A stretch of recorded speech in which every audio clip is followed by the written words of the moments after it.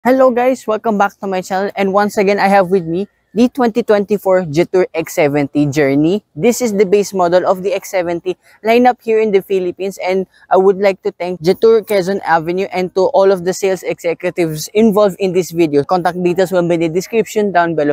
I literally just test drove the all-new Jetour T2. It's one of the best Jetour vehicles I tried out. So why am I having this car again on my channel having just done the walk around tour?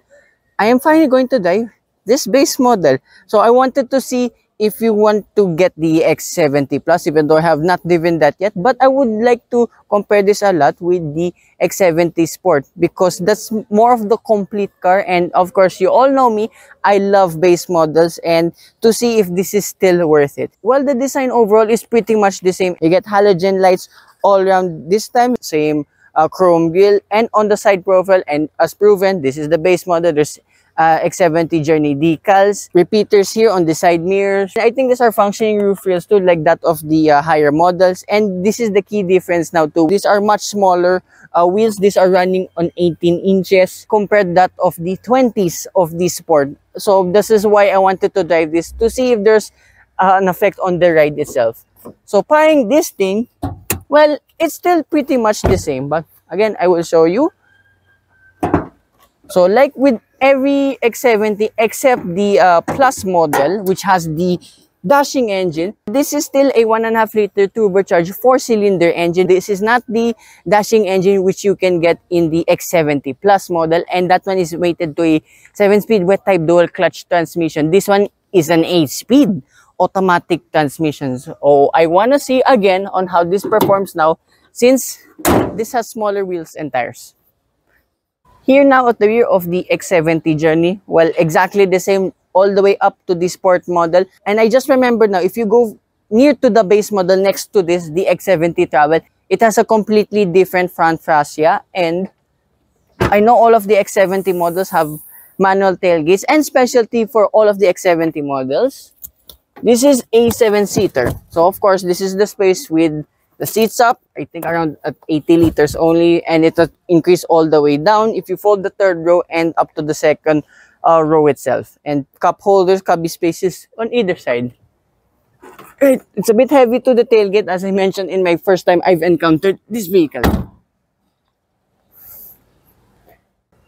So this is the interior once again of the X70 Journey now with a manual uh, key fob now this has a analog tachometer and speedometer with a monochromatic display right in the middle. If it was the higher models like that, the Sport, it's uh, completely digital. And here in the door cards, again, all plastic, but hilariously, they left all of the uh, leather soft pads all around here. But sadly, not for the seats, but I do love the Sport Bucket-ish styles, all now fabrics with a nice red diamond patterns on it with a lot of bolstering, uh, surprisingly. Here on the left side, you get all of your light controls and your electronic stability control button along with the smaller cubby space.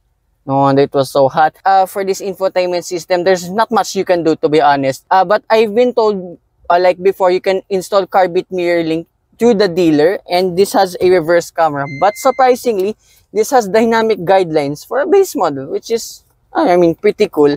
And yeah, that's pretty much it here, the infotainment system. Steering wheel, okay like with that sport but it's now polyurethane with just few buttons here and there. A center console yeah it's all gloss black. You can see it's a bit dirty. Here's for your sport and winter modes and still uh, despite again being a base model you get uh, electronic parking brake and your auto hold functions. And there's food inside for this glove box. Nice cubby space over here. And i don't see any usb ports at all. And you get uh, another cubby space here which i expected it to be but I find it weird your 12 volt sockets just right here on the floor.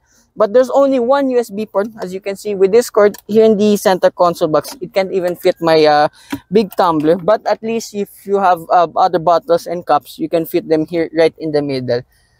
Yeah um this is all plastic. Now I remember the higher models are more on the squeegee side of things. And the second row yeah pretty decent amount of space. So remember if you want me uh, doing all the kuting ting stuff, uh, check out my first walk around review. But what I would like to show you now is when we go for a dive. Finally diving the Journey X70 base model. I mean, I see no difference. Apart, I don't recall having the steering feel uh, being really, really light. And look, somewhat uh, responsive uh, in a way and you can tell immediately the difference between the ride. The X70 Sport, the one with 20 inch wheels, is still comfortable but this one's just a tad more comfortable having what smaller wheels as I mentioned since these are running now on 18 inches. And the performance, I think it's just a bit better since you're not carrying much of the, the tech and all that comparing only with the X70 Sport and uh, Plus models, mind you. And the 8-speed automatic transmission, first to second gear is just a little bit clunky, but I mean, I, got used to it already knowing how uh, it performed back in the day. I think, I'm not sure if there was even a, an update of this with the transmission. I remember I just left it in automatic mode. There's a manual mode and remember there's sport mode too uh, available. Driving here around in the city, yeah, it's pretty agile. And again, given the advantage of very light, what, uh, steering feels, this would be an ideal first-time car for many out there. I've not seen the fuel economy uh, reading it, but this is the range of 296 kilometers, which I would say is pretty decent. So maybe when I drive a bit more, it will pop out all of a sudden. And if you suddenly mash the throttle, yeah, I mean, gets up to speed pretty quickly. And here over hump, yeah, just soaks up the bumps just a little bit better than that of the higher models. A bit weird now having saying top of the line models. Um, anyway, visibility all around too is uh, really good. And here, sport mode now. A bit delayed, but you get up to speed pretty quickly. So the clunkiness only happens when you're up up to speed already. It's high gear, and then it has suddenly to change down once again. Well, I will try it now. Here. And then if you suddenly mash it, um, it's not so bad now compared to the first time I've encountered with the uh, X70 Sport. So again, this transmission is not the fastest out there. However, it's still at least it gets the uh, the job done. So maybe as, as well, I, I just left it in sport mode. That's why maybe it helped out just a little bit. And here, yeah, it's just a, a bit slow to react. But if you're not gonna make this act like a race car anyway, yeah, I mean, it, this will be an ideal daily. So as well for the cost of all of this, remember this is much, much cheaper than that of the rest of the X70 models. If not mistaken, this is around like 1.2 million pesos. So I'll just put the exact price here on screen. So it's up to you preference if you want the whatever X70 model you want. And I would say, for once, I would recommend any of them, even though I have not driven the X70 Plus model. That's the one I would like to drive Jetour Auto Philippines, please. I would love to drive that soon. And now I can give a fuel economy reading with this uh, X70 journey. Oh, pretty impressive. So in this short stints around here in uh, Quezon Avenue, 8.6 liters per 100 kilometers. Despite not the uh, having the sporty nature of the 8-speed automatic transmission, but it can give uh, decent fuel economy numbers. So one more time.